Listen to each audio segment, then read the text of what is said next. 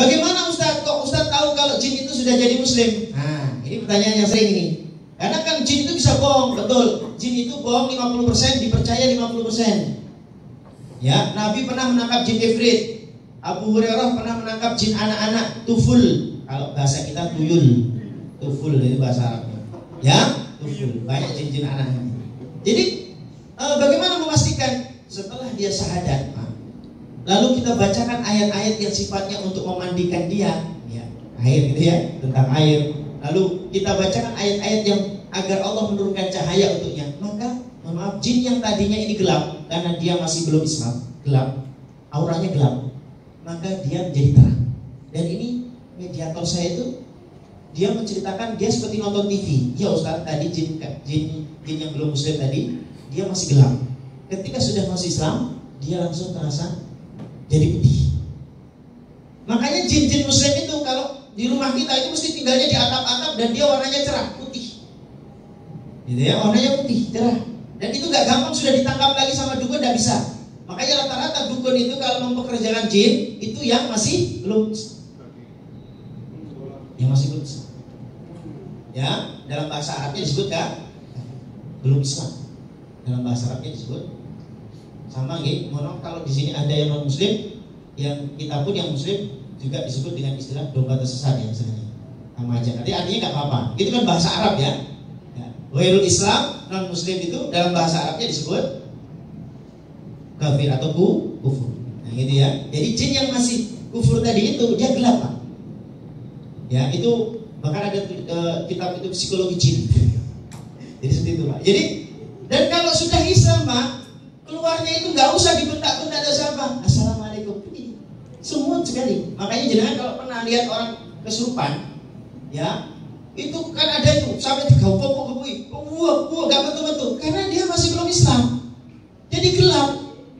Susah untuk keluar. Tapi kalau dia sudah diislamkan lalu disirami sedikit dengan ayat-ayat Allahu nurus samawati wal ard Allahu nurus samawati wal dimandikan sedikit dengan ayat Al-Qur'an ya. Dia cerah, terus syahadat, masuk Islam, udah dia langsung keluar. Assalamualaikum. Menurut saya ya, misalnya dengan kok pernah nangani kasus kesurupan, caranya seperti itu. Jangan langsung dikau punya pasien. Iya, iya, ayo ketua, ketua. Uh, itu babak belur habis itu. Ya kasihan. Saya dulu pernah metode seperti itu pernah juga. Zaman dulu. Tapi alhamdulillah sekarang semakin ke sini saya banyak belajar saya banyak belajar lagi, makin banyak belajar lagi, makanya ada beberapa metode yang saya terapkan agar pasien betul-betul nyaman, betul betul-betul bisa terhindari dari gangguan syaitan tapi dengan cara yang tidak kesurupan dan macam-macam. Kemarin Pak ada kepala kepala apa itu Bang Beri ya kena santet tiga santet dalam dua tahun. Itu ada di situ sudah saya upload di YouTube saya. Makanya boleh dukungannya subscribe ya.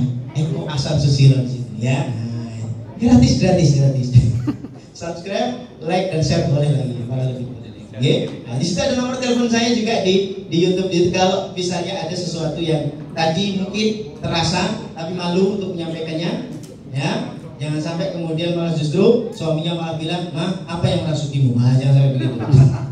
itu juga sebaliknya kata si istri, mohon maaf pak, saya pernah ada loh pasangan suami istri muda, tapi mohon maaf suaminya nggak bisa melakukan hubungan.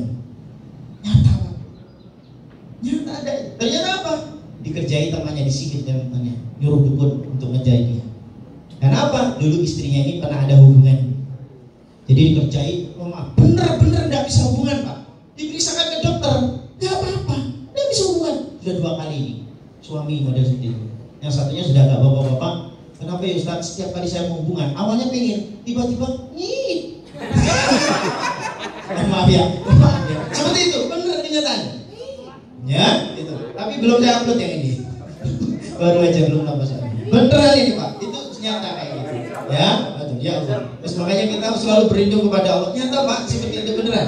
Ya karena memang jenengan nggak mengalami sendiri ya dan bagi pasien itu betul-betul ya Allah Ustaz, terima kasih gini gini sekarang ditanya gimana pak sekarang? Alhamdulillah Ustaz. Uh enak sudah Ustaz. Alhamdulillah ikut seneng saya bilang begitu ya. Ah, begitu masya Allah. Ya gitulah makanya itu ya Pak ya? Nah ini, oh masih ada sama ada pasien apa ya.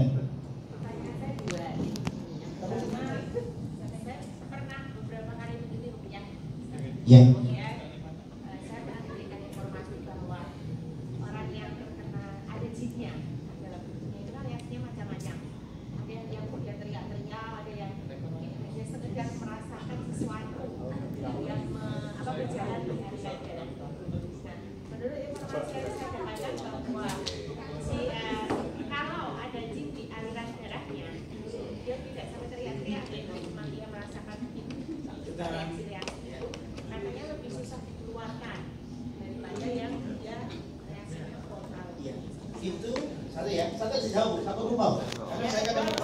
Yang kedua satu lupa kadang-kadang. Takutnya begitu.